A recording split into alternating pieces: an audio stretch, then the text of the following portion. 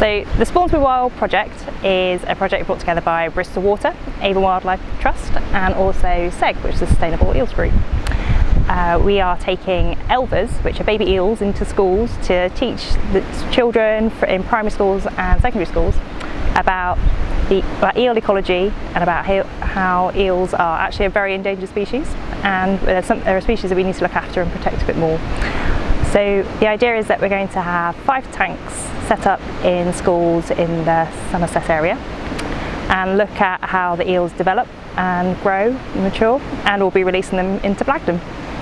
Lake where we will then hopefully they'll continue their life cycle and reproduce some more and our eel population will sort of see some benefit from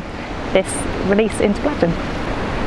So once the tanks are set up in the schools, they'll be running for a little bit just to make sure that the environment in the tank is right for the elvers.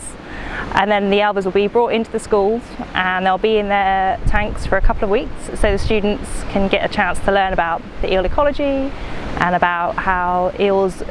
exist in our natural environment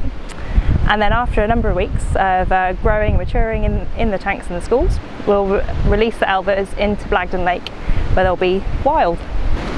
Bristol Water really feels that this is an important project uh, and a really important chance for different students across the Somerset area to learn about the restrictions on eel movement in our wetland environment and our river environment and habitats. So it's really important to engage people with how this very endangered species is being protected by different companies, different organisations, such as Bristol Water, um, to look at how we can better improve our habitats and our environments to support eels and hopefully increase their numbers so they become less endangered. So the tanks we're setting up in schools uh, are being filled with spring water. So they're being filled with water which we're taking from our spring source here at Blagdon, uh, which doesn't contain any um, other treatments that what we as humans would normally drink from our taps is perfectly fine for us but would be the elvers, the tiny baby eels, would be a bit too sensitive to. So there is a certain amount of chlorine in the waters. So in normal fish tanks you would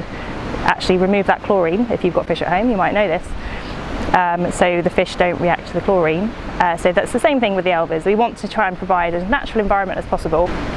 So these, this project, the Spawn to be Wild project, is definitely a project that couldn't happen without the support of a number of different groups coming together. So that's Bristol Water, Avon Wildlife Trust, um, SEG, and a lot of volunteer help, and in particular our fisheries teams at Bristol Water, who have got a really good knowledge and understanding of how um, elvers need to exist in the wild and how we can look after them in the schools. So they have come together in this amazing Spawn Spawnsbury Wild team to deliver this and we're really excited to see how this evolves and how it progresses.